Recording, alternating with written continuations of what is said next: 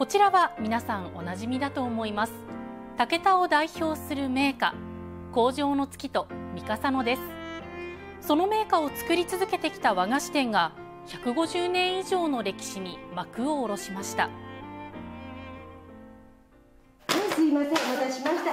じゃあよろしいはいありがとうございましたはい。武田市にある川口自由堂。江戸時代の終わりに創業今年で158年の老舗和菓子店ですがおととい最後の日を迎えました。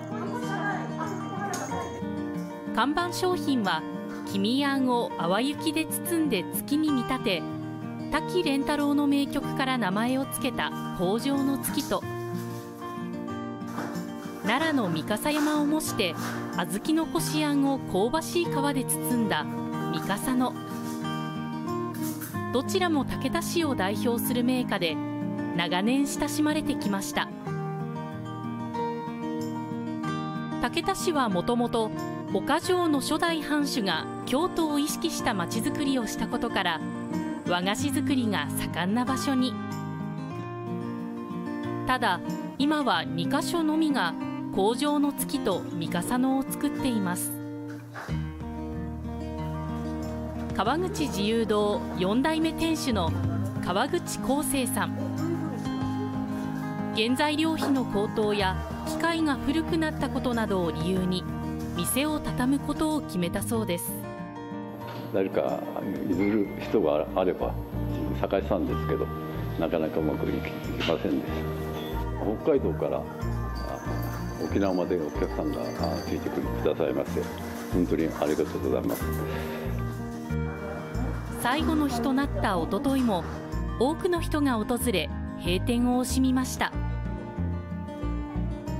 最後に会いに来た最後。ありがとう。嬉しいあのね仏さんに言ってきた今日は、うん、最後のお店に行くよって。そうだ本当最後になったお店ね明日までだろ。今日まで今日まで。え今日までまでよ。今日は。うわよかった明日来ようなんか思っちゃったらもうおらんかった。長い間本当ありがとうございました。元気でおってくださいね。ありがとうございます。ありがとう寂しい悲しい。ゆっくり食べて、うん、ありがとうございますありがとうございま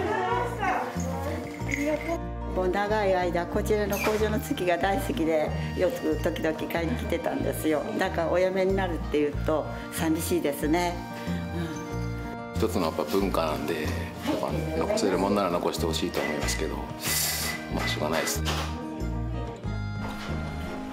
午後3時半。ついに閉店の時。150年以上という長きにわたって愛されてきた老舗和菓子店にシャッターが下ろされました。地味ですけど、まあ、できるだけ美味しいお菓子を安くというのもあれで作ってまいりました。本当に感謝しかございません。どうもありがとうございました。